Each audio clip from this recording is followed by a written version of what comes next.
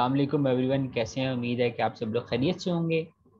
इस वीडियो में हम डिस्कस करेंगे पाकिस्तान मेट्रोलॉजिकल डिपार्टमेंट के जो स्क्रीनिंग टेस्ट वगैरह हो रहे हैं डिफरेंट पोस्ट के लिए। जैसा कि आज के दिन पेपर हुआ था यूडीसी का, इससे पहले हमने वीडियो में डिस्कस किया था यूडीसी का पेपर उसका जो है लिंक वो डिस्क्रिप्शन में शेयर कर दिया जाएगा। अगर आप वो देखना चाहें तो वो भी देख लीजिएगा।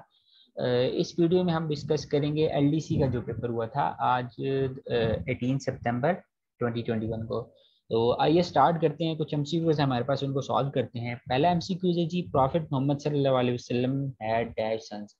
हजूर वसल्लम के कितने बेटे थे? एक था, दो था, दो थे, तीन या चार। एम हमारे पास ऑप्शन थे।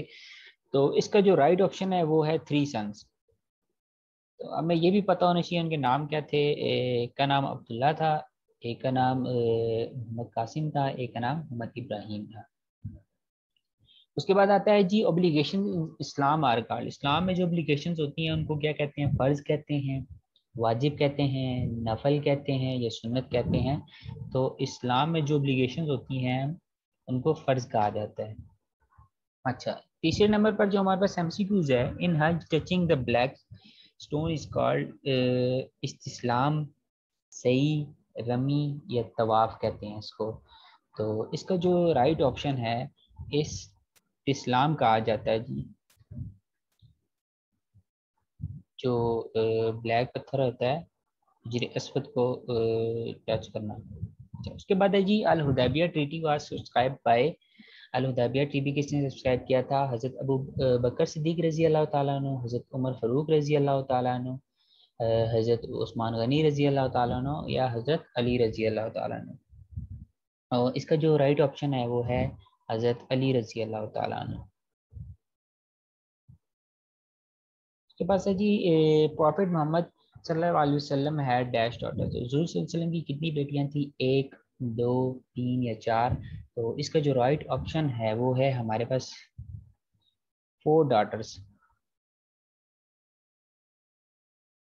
तो हमें उनके नाम का भी पता होना चाहिए। नाम अगर देखें तो पहली बेटी हजूर की हज़रत जैनब रज़ी अल्लाह तु दूसरे नंबर पर हज़रत रुकैया रज़ी अल्लाह तु तीसरे नंबर पर हज़रत में कलसूम रज़ी अल्लाह तु और चौथे नंबर पर हज़रत फातिमा रज़ी अल्लाह तु उसके बाद है जी, cave Hira is in the mountain कौन से माउंटेन पर हिरा गारे हिरा है?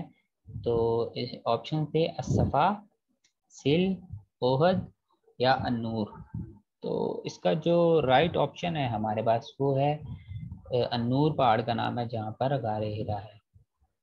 अच्छा उसके बाद है जी, इन हज travelling seven times in Safa and Marwa is called ये यूडीसी के पेपर में भी एमसीक्यूज आया था हमारे पास। इसको क्या कहते हैं? इस्लाम कहते हैं, सही कहते हैं रमी कहते हैं, या तवाफ कहते हैं। तो सफ़ा मरवा में जो चार सात चक्कर लगाए जाते हैं, उनको सही कहा जाता है। अच्छा उसके बाद हमारे पास एम सी क्यूज है for dash year Salima took Hazrat Halima took care of prophet Mohammed सल्लल्लाहु अलैहि वसल्लम। तो इसका जो ऑप्शन थे हमारे पास छः साल, सात साल, आठ साल या नौ साल तो जो इसका राइट ऑप्शन है, हज़रत हलीमा ने हजूर की प्रवेश छः साल के लिए दी थी। अच्छा उसके बाद एक और एम है, Hazrat dash propose azan for the first time कौन से साबी थे उन्होंने अजान का बताया गया था कि फ़र्स्ट टाइम अजान प्रपोज की थी तो हज़रत अली रज़ी अल्लाह तु हज़रत उस्मान रज़ी अल्लाह तु हज़रत अबू बकर रज़ी अल्लाह तु या हज़रत उमर रज़ी अल्लाह तु तो इसका जो राइट ऑप्शन है वो है हज़रत उमर रज़ी अल्लाह तु उसके बाद एक how many takbir are recited by muezzin in azan अजान में कितनी तकबीर होती हैं? चार होती हैं, छः आठ या नौ तो इसका जो राइट ऑप्शन है, छः।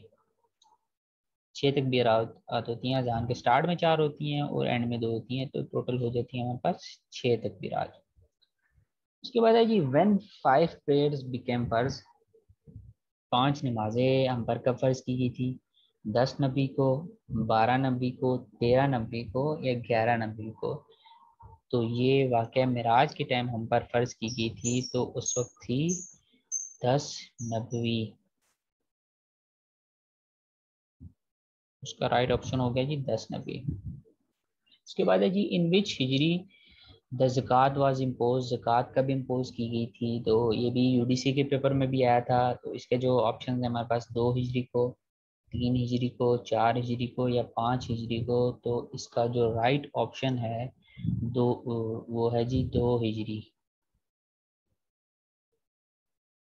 उसके बाद है जी capital of Belgium is Belgium एक कंट्री है, उसका जो कैपिटल है, उसका क्या नाम है जी? तो ऑप्शंस थे हमारे पास कैपटाउन जोनेज ब्रुसेल तो जो इसका जो राइट ऑप्शन है वो ब्रुसेल्स है। बेल्जियम का कैपिटल है जी ब्रुसेल्स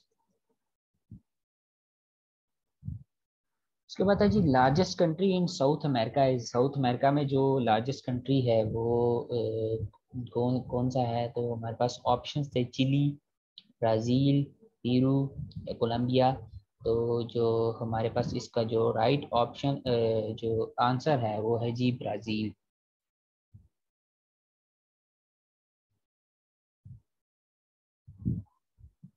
उसके बाद था जी हमारे पास MCQ which country is the largest producer of coffee coffee का लार्जेस्ट प्रोड्यूसर कंट्री कौन सा है?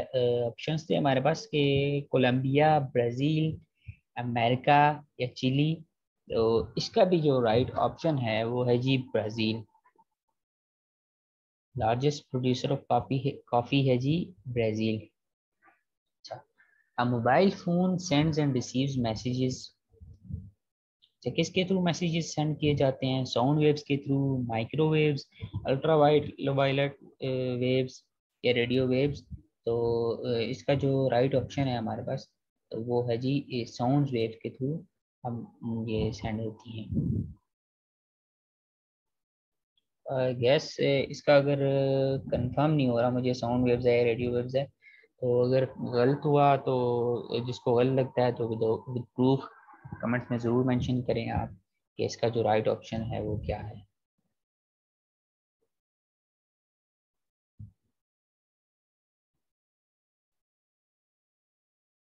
उसके बाद है जी which of the following vitamin is produce in human body with the help of sunlight तो इसके जो ऑप्शन थे हमारे पास vitamin D vitamin E vitamin K और विटामिन सी तो राइट ऑप्शन है जी vitamin D vitamin D produce होता है ह्यूमन बॉडी में किसकी मदद से? सूरज की मदद से। उसके बाद है जी when did the Taliban officially took over Afghanistan for the first time first time Taliban ने कब टेक ओवर किया था अफ़गानिस्तान में? तो इसके जो ऑप्शन थे हमारे पास 1991, 1978, 1996 और 98, 1987 तो इसका जो राइट right ऑप्शन है, वो है हमारे पास 1996 फ़र्स्ट टाइम उन्होंने तालिबान ने टुक ओवर किया था अफ़गानिस्तान पर 1996 में और ये कब तक रहा था? 2001 तक। उसके बाद हमारे पास एक और एम है जी।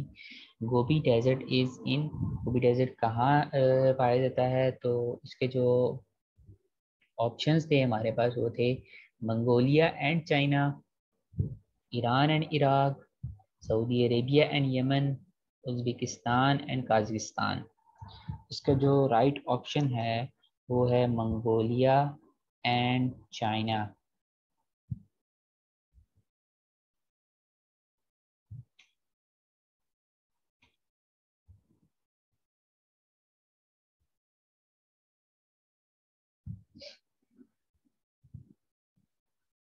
उसके बाद हमारे पास आता है एक सेकेंड उसके बाद है everybody knows Great Wall of China Chinese erected this wall as the defence against Chinese ने किसके अगेंस्ट डिफेंस के लिए वॉल बनाई थी? तो वो अरब्स हैं इंडियंस हैं इरानियंस हैं या मंगोल्स हैं। तो इसका जो राइट right ऑप्शन है वो है मंगोल्स उसके बाद है जी which country is known as the land of rising sun अगर इस एम के ऑप्शन को देखा जाए तो हमारे पास जो ऑप्शन थे, वो है इटली, कनाडा, जापान या नॉर्वे। तो इसका जो राइट right ऑप्शन है, वो है जापान। जापान को लैंड ऑफ़ राइजिंग सन कहा जाता है। उसके बाद है जी among these are countries which is not land lock इसमें जो हमारे पास ऑप्शन थे, वो भूटान, नेपाल, श्रीलंका आया नन ऑफ़ दीज तो श्रीलंका जो है, ये एक लैंड लॉक कंट्री नहीं है। इसके अलावा नेपाल और भूटान जो है, ये लैंड लॉक कंट्री हैं। उसके बाद है जी which is the thinnest earth layer earth की जो थिनेस्ट लेयर है, उसको क्या कहा जाए, या कौन सी लेयर है? तो कोर मेंटल क्रस्ट या इनमें से कोई भी नहीं तो इसका जो राइट right ऑप्शन है, वो है क्रस्ट जो अर्थ की थिनेस्ट लेयर है, उसको कहते हैं क्रस्ट अच्छा उसके बाद ये the president of first constitution assembly of Pakistan was इसके जो ऑप्शन थे हमारे पास, कायद आज़म, लियाकत अली खान खलीकुज़मान निज़ामुद्दीन सॉरी नाजिमुद्दीन. तो इसका जो राइट right ऑप्शन है हमारे पास, कायद आज़म, मोहम्मद अली जना फ़र्स्ट प्रेसिडेंट थे प्रेसिडेंट थे first constitutional assembly of Pakistan के उसके बाद है जी who promulgated the eighteenth amendment in 1977 इसके जो ऑप्शंस uh, थे हमारे पास इन 1973 कॉन्स्टिट्यूशन ऑफ़ पाकिस्तान तो इसके जो ऑप्शन थे हमारे पास, वो हैं कि जी, नवाज़ शरीफ, बेनज़ीर भुट्टो, आसिफ अली जरदारी जनरल परवेज मुशरफ तो ये जो एम सी क्यूज है, ये यू डी सी के पेपर में भी आया हुआ था तो इसका जो ऑप्शन है जी, वो है आसिफ अली जरदारी, जो कि उस टाइम के प्रेजिडेंट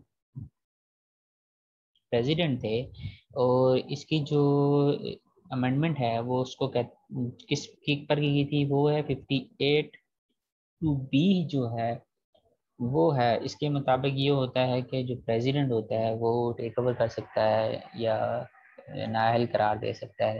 हम्म, किसको? या ऐसे कह सकते हैं कि ज़्यादा पावर्स किसके पास होती हैं? प्रेसिडेंट के पास होती हैं। उसके बाद है you compose the verses of national anthem of Pakistan इसके अगर ऑप्शन देखे जाएँ तो हमारे पास हफीज़ जलंधरी हैं। नासिर काजमी लामा इकबाल फैज़ अहमद फैज़। तो इसके जो, इसका जो राइट ऑप्शन है वो है जी हफीज़ जलंधरी हैं जी। इन्होंने जो इसकी वर्सेस थी कंपोज की थी और अगर म्यूज़िक की बात करें तो उसका जो ऑप्शन हमारे पास राइट ऑप्शन है या राइट आंसर है वो है जी चागला एम ए चागला आई एस अक्सर वो वाला एम भी पूछा जाता है तो फिर बंदा इसको और उसको मिक्स कर देता है। मैं पता होना चाहिए वर्सेस जलेंद्री साहब ने लिखी थी? और म्यूज़िक कंपोज किया था एम ए चागला या इस तरह एन पे चागला आता है उनके नाम। अच्छा उसके बाद ये when did Pakistan conduct first series of nuclear explosion तो उसके जो ऑप्शन थे हमारे पास मार्च 1998 अप्रैल 1998 मई 1998 या अगस्त 1999 तो उसका जो राइट ऑप्शन है, वो है मई 1998 28 मई को ये कंडक्ट की गई थी बलूचिस्तान में। उसके बाद है जी, Urdu was declared as a national language of Pakistan in कौन से कॉन्स्टिट्यूशन में डिक्लेयर किया गया था उर्दू को, पाकिस्तान की नेशनल लैंग्वेज तो ये किया गया था जी 1973 के कॉन्स्टिट्यूशन में आई गेस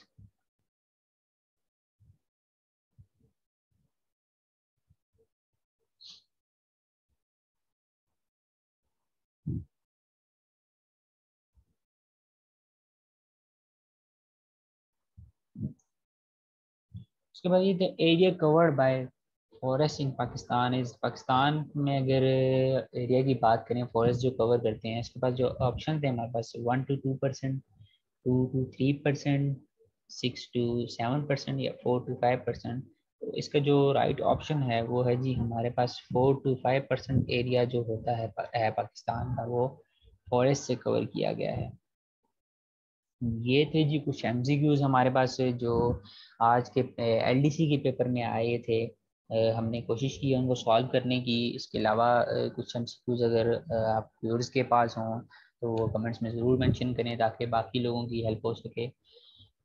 थैंक यू अगर आपको वीडियो पसंद आई है तो लाइक कीजिएगा चैनल को ज़रूर सब्सक्राइब कीजिएगा और बेल आइकन को प्रेस कीजिएगा ताकि आने वाली मज़ीद इंफॉर्मेटिव वीडियोस आप तक पहुँच सकें। थैंक यू अल्लाह हाफिज़।